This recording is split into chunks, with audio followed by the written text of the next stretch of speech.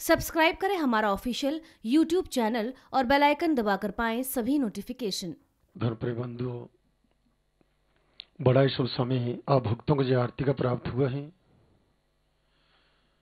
इस आरती की परम पवित्र बेला में, इस परम पवित्र स्थली पर बैठ करके जग जननी जगत माता की आराधना करने का, पुण्य अर्जित करने का, इस जगत माता की विशेष कृपा प्राप्त करने का आप भक्तों को सौभाग्य प्राप्त हुआ है।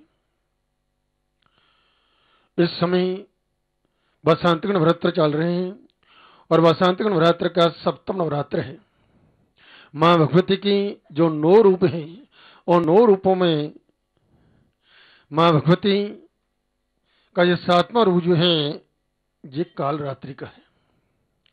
आज के दिन साधक जन जो हैं, इस माँ भगवती काल रात्रि के स्वरूप का जो है ध्यान करते हैं और अपनी मन की स्थिति को जो है सहस्र चक्र में जो है स्थित कर करके भगवती से प्रार्थना करते हैं कि माँ भगवती ये काल रात्रि हम सब भक्तों की रक्षा करें, हम भक्तों का कल्याण करें, शत्रुओं पर विजय दिलाएँ, अंग संरक्षा करें।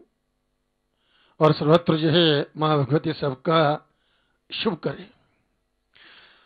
वास्तव में माँ भगवती काल रात्रि का स्वरूप है, जिसके बाल खुले हुए हैं, तीन नेत्र हैं, बड़ा विकराल रूप है, और इनके शरीर का जो है वर्ण जो है, जी, अंधकार रात्रि की तरह जो है, एकदम से काला है। जैसे सब भयंकर स्वरूप हैं वास्तव में एक नाम जो है, इसका शुभम करीबी है। ये भक्तों का शुभ करती है, दुष्टों का नाश करती है, और इसका जो उपासक होता है, माँ भगवती का साधक काल रात्रि की जो उपासना करने वाला जो है, उसको कभी जो है रात्रि भय नहीं होता। उसको कोई भूत प्रेत बाधा जो है, वह नहीं होती। बाल ग्रह बाधा भी जो है, ये दूर होती है। न उसे जल के राशि का जो है भय होता है न अग्नि का भय होता है। वास्तव में इस काल रात्रि की उपासना करने वाला जो साधक है, उसकी कभी अकाल मृत्यु नहीं होती। वह पूर्ण आज का भोग करता है और जो भगवती हर स्थान पर अंगसंग जो है, उनकी रक्षा करते हैं। जो भगवती एवं भगवती देवी स नित्या भी पुनः पुनः संभोज कुरते भूप जगत परिपालन जे भगवती जो है, जे पुनः पुनः प्रकट होकर के जगत की रक्षा करते हैं। जब जब भी जो है, इस सृष्टि पर जो है आतंक जो है फैल जाता है तो किसी न किसी रूप में इसका प्रादुर्भाव होता है। जो शक्ति के रूप में इनका प्रादुर्भाव होता है, उन दुष्टों का जो नाश करती है और भक्तों की रक्षा करती हैं। तो पुनः पुनः जो है, ये जगत में प्रकट होते हैं जगत की रक्षा करते हैं, और वे ही जो है, संभोज कुरते भूप जगत परिपालनम तहितन भोजते विश्वम सही विश्वम प्रसोयते सजाज तद विज्ञानम तुष्ट रिद्धि प्रयशति और वही विश्व को जो है, ये मोहित करती है। सारा जगत जो है, ये मोह में पड़ा हुआ है, इसकी कृपा के बिना कुछ भी संभव नहीं। चाहे वह धन मोह है संतान मोह है घर गृहस्थ का मोह है अन्य जितने जो मोह है, इसी भगवती ने ही सारे जगत को मोहित कर रखा है, चाहे वो ज्ञानी ही, चाहे तपस्वी ही। ज्ञानी नव चेता सिद्धि भगवती सा भलादा कृष्ण मोहाय महामाया प्रयश्यति जी बड़े बड़े ज्ञानियों को, तपस्वियों को भी मोह के गहरे गर्त में गिरा देते हैं, फिर सामान्य मनुष्य का कहना है क्या? इसलिए भक्तजन इसकी कृपा प्राप्त करने के लिए, क्योंकि इसकी जब जानने की जिन पर कृपा हो जाती है वो ही इस मोह से जो है मुक्त होते हैं। उन्हीं को जब भगवती ऐसा ज्ञान देती है, जिस ज्ञान से फलीभूत होकर के वह साधक जो है, इस लोक में सौ सुखों का भोग करते हुए उनका परलोक भी कल्याण हो जाता है।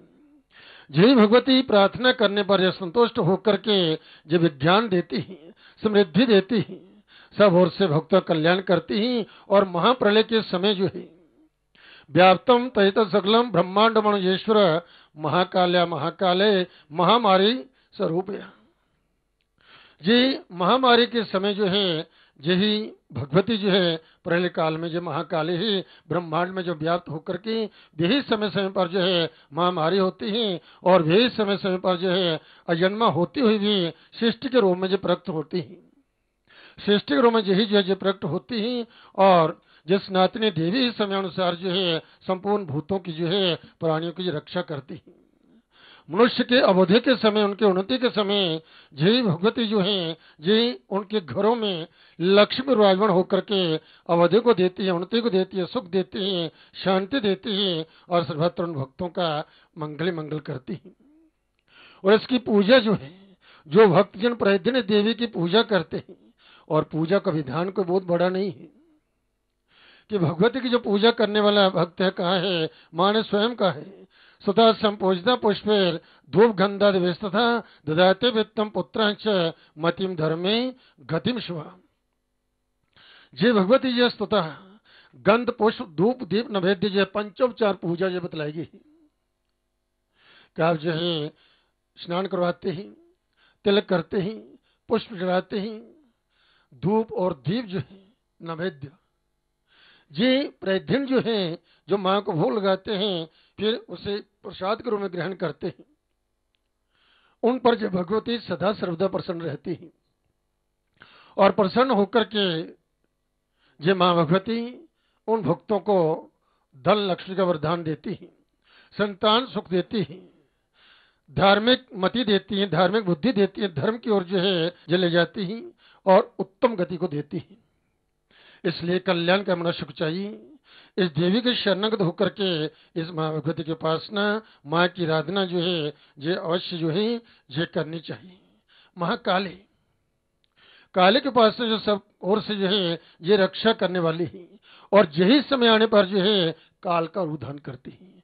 आप कहते हैं यमराज है, उसका जो है बिल्कुल काला भरण होता है। तो काल जो काल कहा गया है, हम काले कहते हैं वह संहार कारण देवी है। यही भगवती की उपासना कहते मैं छोटा सा दृष्टान दे रहा हूँ कि वास्तव मनुष्य को धर्म के मार्ग पर चलते हुए, अपना जो जीवन रहते हुए अपना कल्याण जैसे कर लेना चाहिए। क्योंकि यही एक शरीर जो साधन है, और साधन के द्वारा यदि व्यक्ति साधना करता है तो उसका लोग भी कल्याण में होता है और परलोक भी कल्याणमय हो जाता है। ये जीवन रहते हुए ही आप भले कर्म जो है, वह कर सकते हैं। जब जीवन समाप्त हो गया, क्योंकि ये तो सब जानते हैं कि काल जो है, सदा सर्वदा जी सबके सिर पर बैठा हुआ है। और कब जे गला दबा दे, कुछ पता नहीं। और समय जो सबका निश्चित है। और किसी को पता नहीं कब समय आएगा। इसलिए समय रहते हुए, प्रारंभ में ही धर्म के मार्ग पर चलते हुए धर्मन कुल कर्म जो है, ये करते रहना चाहिए। कहते हैं कि एक राजा थे। राजा का एक उद्देश्य था कि अपने राज्य की, राष्ट्र की वृद्धि करना, खूब खजाना भरना, अन्य देशों पर आक्रमण करना, उनको अपने साथ मिलाकर के इस प्रकार से जीवन भर जो है, उसने खूब जो है, धन संपत्ति जो है जो राज्य की वृद्धि, राष्ट्र की वृद्धि उसने की। और कभी धर्म कर्म नहीं किया। कभी भी धर्म कर्म नहीं किया, कभी भगवान का स्मरण नहीं किया, कभी ध्यान नहीं किया, कोई सत्कर्म नहीं किया तो कहते एक दिन राजा जो थे, सोए हुए थे। रात को उनको सपन आया, एक काली छाया जो है, उसके सामने आई। और राजा को कहा कि, राजन, कल सूर्य से पहले मैं आपको लेने के लिए आऊँगी। आप कल सायकाल जो है सूर्य से पहले ठीक स्थान पर, ठीक समय पर जो है आप पहुँच जाना। राजा ने कहा कि क्यों? तो उसने कहा, देखो, मैं काल हूँ, मृत्यु हूँ, और आपका समय आ चुका है। कल सूर्य से पहले मैं आपको लेने आऊँगी। तो आप सूर्य से पहले ठीक स्थान पर, ठीक समय पर जो है आप पहुँच जाना। और राजा जो था वह घबरा गया कि मृत्यु आ गई। भयभीत हुआ, चिल्लाने लगा। सभी रानी वहाँ पर आ गई, मंत्री आ गए, वैद्य आ गए कि राजा को क्या हुआ? सब जो उसको देखने लगे। वो आगे पीछे देखे ये सब क्या है, काली छाया ये क्या थी। और सामने जो है उसकी वाणी जो मुझे सुनाई दी। तब जो है राजन वह सपन जो था बतलाया सबको। तब जो सबने यही कहा, जो विद्वान थे, मंत्री थे, अन्य से लोगों ने जो है कहा कि सपन सपन होता है। ये कुछ नहीं होता है। आपको ऐसे भय हुआ है, और यदि ऐसी बात है, वह काली छाया आई है आपको लेने के लिए तो यही कहीं आगे पीछे होगी। अब ऐसा कीजिए, राजमहल को छोड़ करके कुछ दिनों के लिए आप कहीं बाहर चले जाइए। किसी ने जो समझाया नहीं कि क्या मृत्यु आ चुकी है? मृत्यु को धोखा दे रहे हैं। कुछ सत्कर्म करे, कहते हैं कि भगवान ने जहाँ तक कहा है अंत काल में भी जो है अंत काले च मामेव स्वर्ण मुक्त कलेवरम पर प्रजाति स मदभावम जाति नास्तास्त्र संशय। ये गीता में भगवान कृष्ण स्वयं कहा है, कि अंतिम समय में, अंतिम श्वास में भी यदि कोई मेरा स्मरण करता है, मुझे याद करता है, वह मुझे ही प्राप्त होता है। तो इसलिए कभी जीवन में कभी स्मरण किया नहीं, ध्यान किया नहीं तो अंतिम समय में ध्यान आएगा कैसे? इसलिए जो है, व्यक्ति को समय रहते हुए भगवान की आराधना, जी जप, पाठ, जे धर्म कर्म जो है दीन दुख की सेवा परोपकार जो है, ये करते रहना चाहिए। राजा को जब सबने समझाया कि सपन सपन होते हैं, आप राजमहल से निकल जाइए, कहीं कुछ समय के लिए आप कहीं दूर चले जाइए। वह काली शाह इधर ही होगी, यदि आएगी तो आप तो यहाँ पर होंगे नहीं। तो किसको मारेगी वो? राजा ने कहा जी बात तो ठीक है। कहोगे, जीवन भर कोई अच्छा काम किया नहीं, कभी भगवान का स्मरण किया नहीं था। तो कैसे ऐसी बुद्धि आती? और फिर जो मंत्री होते हैं, बाकी भी जो होते हैं, वह भी वैसे ही हो जाते हैं। जैसा संग हो, वैसा ही रंग लगता है। तब जो है, राजा जो है, घोड़े पर सवार हुए उस समय, ये गाड़ियों का जो है, ये नहीं था। घोड़े पर ही राजा जो है, आगे पीछे जाते थे। राजा घोड़े पे सवार हुए और राजमहल से निकल पड़े। घोड़ा बहुत तेज़ी से दौड़ा और चलते चलते जैसे सायंकाल हुआ तो राज्य से ही बहुत दूर निकल चुका था। सूर्यास्त होने वाला था। राजा घोड़े से नीचे उतरे और उतर करके घोड़े की पीठ जो थे थपथपाने लगे और घोड़े का धन्यवाद करने लगे कि तेरा बहुत बहुत धन्यवाद। थोड़े से समय में इतनी दूर मुझे आप ले आए। इतने पीछे से काली छाया भी राजा की पीठ थपथपाते हुए उसने कहा कि राजन, आपका भी बड़ा धन्यवाद। बहुत बहुत धन्यवाद आपका जो है, क्योंकि आपका यही स्थान था, यही समय था, और आप समय से जहाँ पर पहुँच गए। आपको कोई ऐसा ज्ञानी पुरुष नहीं मिला कि कम से कम आपको अंतिम समय में जो है, समय आ चुका था। तो जो समय मिला प्रातः काल से सायंकाल तक बहुत कुछ कर सकते थे। ऐसे राजा हुए हैं जिन्होंने ढाई घड़ी में जो अपने मोक्ष प्राप्त कर लिया। राजा परीक्षित हुए सात दिन में जो उसने मोक्ष प्राप्त कर लिया था। आपको समय मिला, परंतु आपके पास कोई सदगुरु, कोई ज्ञानी पुरुष आपको नहीं मिला, वो आपके पास था नहीं, जहाँ फिर उसको ज्ञान नहीं था, जिस कारण से आप कोई अपने कल्याण के क्यों की? कहते हैं कि यदि आज वो शेष है, आपके पाप कर्म इतने बढ़ चुके हैं कि मृत्यु पहले भी हो सकती है। जिसे हम अकाल मृत्यु कहते हैं, अकस्मात, कहीं एक्सीडेंट में या कुछ और दुर्घटना होने से।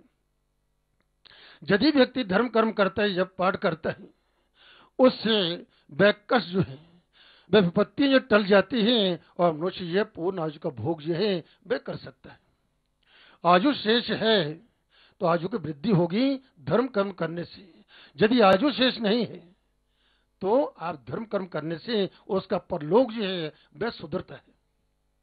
इसलिए वह राजा से वह काली शाया से कहने लगी कि सदगुरु और भक्त के अभाव में जो है, वास्तव में मनुष्य यही उसी दुख के पास जो पहुँच जाता है। जब पता चलता है, तब तक जो है, बहुत समय हो चुका होता है, बहुत देर हो चुकी होती है, समय हाथ से निकल चुका होता है। जब समय हाथ में है ही नहीं, फिर कैसे उस समय कहे कि मैं कोई धर्म कर्म करूँ, ध्यान करूँ? और जो समय मिलता भी है व्यक्ति को, उस समय का सदुपयोग यदि कोई करता है, निश्चय रूप से उसका कल्याण होता है। यदि उसकी आयु शेष है, आयु की वृद्धि होगी, यदि आयु शेष नहीं है, पूर्ण आयु हो चुकी है तो जो है, उसका पर लोग जो है, वह सुधरेगा। इसलिए कल्याण का मनुष्य को चाहिए, जो भी अपना कल्याण चाहते हैं अपना बोधे चाहते हैं, अपनी उन्नति चाहते हैं, अपनी जीवन यात्रा सुख चाहते हैं, उन्हें प्रयत्न पूर्वक धर्म के मार्ग पर चलते हुए, धर्मानुकूल कर्म करते हुए, इस माँ जगजननी जगत माता के शरणगत होकर के माँ भगवती की आराधना, माँ की अर्चना, माँ की पूजा, माँ का ध्यान, माँ का स्मरण, माँ के नाम का जप जो है, माँ के दर्शन। दर्शन से मनुष्य के पापों का नाश होता है। ये जो आप धर्म कर्म करते हैं, इससे पुण्य की वृद्धि होती है और जीवन जो है सुगध हो जाता है। जिस स्थान पर बैठे हुए हैं, जिस तपस्थल है तपोभूमि इसी स्थान से होकर के माँ वैष्णो देवी ने इस गुफा के अंदर प्रवेश किया था। और इस गुफा के अंदर पिंडी के विराजमान होकर के माँ भगवती तप कर रही है। जब घोर कल जुगाएगा तब इनका प्रादुर्भाव होगा जो प्रकट होंगी, पापियों का नाश करेंगी, भक्तों की रक्षा करेंगी। माँ भगवती आदि शक्ति इस गुहा के अंदर तीन दिव्य पिंडिक विराजमान है। महाकाली, महालक्ष्मी वैष्णवी और माता महासरस्वती। और ये तीन शक्तियाँ ऐसे यही एक ऐसा स्थान है जहाँ पर ये तीनों शक्तियाँ एक साथ विराजमान है। और जिन भक्तों को इन तीनों शक्तियों का आशीर्वाद, तीनों शक्तियों की कृपा हो जाती है, उनके जीवन में कभी किसी प्रकार की कमी रहती ही नहीं। महाकाली जो कष्ट को दूर करती है, रोगों से मुक्ति देती है शत्रु विजय दिलाती अंगसंग जो है, जे भगवती महाकाली, जी रक्षा करती है। महालक्ष्मी जो है, जी धन लक्ष्मी का वरदान देती है, परमेश्वर को देती है, धन धन की वृद्धि करती है, कारोबार में वृद्धि करती है, सर्वत्र भक्तों का मंगल मंगल करती है। माता महा सरस्वती, जे विद्या बुद्धि का वरदान देती है। ये तीन शक्तियाँ निरोगी काया, धन शक्ति और ज्ञान शक्ति। इन्हीं का जीवन में महत्व है। जिसका विवेक, जिसकी बुद्धि ठीक है, जो धन लक्ष्मी का जो है, धन शक्ति ठीक सदुपयोग करता है, और शरीर शक्ति का ठीक सदुपयोग करता है, जो करनीय कार्य उनको करता है तो उसका कल्याण है। इस लोक में भी और परलोक में भी। आप बड़े भाग्यशाली हैं, जो नवरात्रों में जो है, क्या क्योंकि नवरात्रों में भगवती की विशेष पूजा, आराधना सही भक्तजन करते हैं।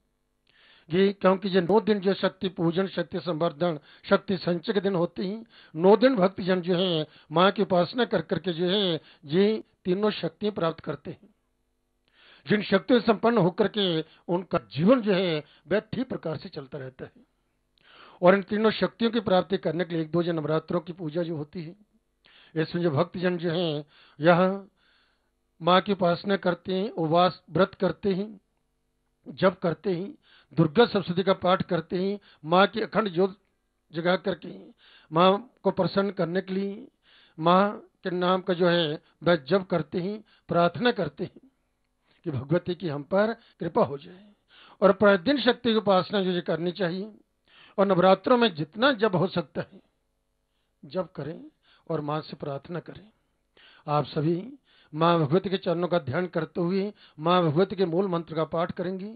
इस मंत्र का जप करने से और माँ के दरबार में आकर के इस पिंडिक रूप में माँ के दर्शन करने से भक्तों पर इन तीनों देवियों की पूर्ण कृपा जो है, ये बनी रहती है। सभी इस मंत्र का पाठ करेंगे।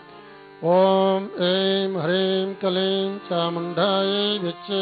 ॐ ऐं ह्रीं क्लीं चामुण्डाय ॐ ऐं ह्रीं क्लीं चामुण्डाय विच्चे। ॐ ऐं ह्रीं क्लीं चामुण्डाय विचे ॐ ऐं ह्रीं क्लीं चामुण्डाय विच्चे। ॐ ऐं ह्रीं विचे। बोलो दरबार की जय। तो सभी भक्तों के लिए एक विशेष सूचना है। आज सप्तमी जो है ये एक बजकर चौबीस मिनट तक रहेगी। उसके उपरांत अष्टमी प्रारंभ हो जाएगी। और कल अष्टमी जो है ये ग्यारह बजकर बयालीस मिनट तक जो है ये रहेगी। उसके उपरांत जो नौमी प्रारंभ हो जाएगी। भगवान श्री राम का जन्म जो है ये दिन के बारह बजे हुआ था। और कल अष्टमी युग राम नवमी का व्रत भी काली है। जो अष्टमी का पूजन कर करके, शाखा पूजन करके उनका विसर्जन करते हैं, वह प्रातः काल जो है, वह सब कर सकते हैं। जो नौमी में करना चाहते हैं, जो नौमी में करते हैं, उन्हें जो है, बारह बजे के उपरांत जो कन्या पूजन करके, शाखा पूजन करके उसका विसर्जन जो है ये कर सकते हैं। यहाँ पर प्रत्येक नवरात्रों में विश्व कल्याण के लिए श्री माता वैष्णो देवी स्थापन बोर्ड की ओर से सचंडी यज्ञ करवाए जाते हैं। उस यज्ञ की, जो प्रथम नवरात्र में यज्ञ प्रारंभ हुआ था, और कल उस यज्ञ की पूर्णावृत्ति जो है, ये एक बजे नौमी में होगी। क्योंकि यज्ञ की पूर्णावृत्ति जो है, नौमी में ही होती है, दसवीं में वर्जित है। इसलिए कल एक बजे जो है यज्ञ की पूर्णावृत्ति होगी। आप भक्तों को, जी, सादर निमंत्रण है कि आप एक बजे जो है ये यज्ञशाला, सरस्वती भवन में है। वहाँ पर यज्ञ का आयोजन चल रहे हैं और एक बजे वहाँ पर जो है, आप पूर्णावती के समय आकर के यज्ञ की पूर्णावती देकर के आप पुण्य के भाग्य बने पुण्य प्राप्त करें। कहते हैं वो यज्ञ करता है जो हवन पूजा करता है और अंतिम दिन जो है जो वहाँ जाकर के पूर्णावती देता है उसको वही फल जो है प्राप्त होता है वहाँ जाकर के पूर्णावती देना। तो कल जो है यज्ञ की पूर्णावती जो है यह एक बजे का समय रखा गया है। एक बजे नौमी में ये पूर्णावती की जाएगी। बोले सच्चे दरबार की जय। सब्सक्राइब करें हमारा ऑफिशियल यूट्यूब चैनल और बेल आइकन दबाकर पाएँ सभी नोटिफिकेशन